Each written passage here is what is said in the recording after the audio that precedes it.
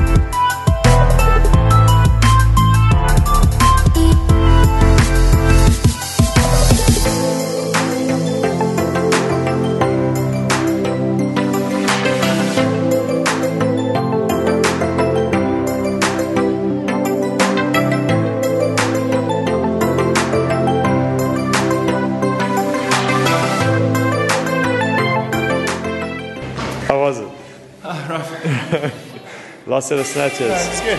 It's good, yeah. Shit. The last snatches you smashed it though. Yeah. If you did the other rounds like that, you would have destroyed it. What's up guys? So today is one of those days where not all of my footage recorded, which sucks. I've learned that if my my camera stands long enough, the first the screen blanks out and then the power goes off. And when the screen blanks out and you press record, it only turns the screen on, it doesn't record. Anyway, uh, it was a fun workout, I really enjoyed it. I did do yesterday's workout, which was a 200 meter run, followed by 10 squat snatches on 50 kilograms, followed by 5 ring muscle ups for 3 rounds with a 15 minute cap. I managed to get the third round of squat snatches finished before my time ran out. Yeah, good workout. it was a bit tiring because we did clean and jerks before that for strength, but all in all, awesome workout, really had fun. A quick tip before I go something about snatches that I learned from someone who snatches much heavier than I do. Um, when you're doing squat snatches, try and catch and balance it on your shoulders before you go down, as you're going down into the squat. So when you reach the bottom, it already needs to be stabilized on your shoulders, and you just need to catch it on your legs.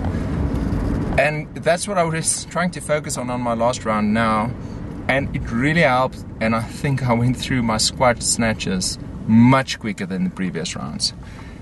It's just something that I need to remember to to focus on and to do, to apply. Uh, anyway, that's it.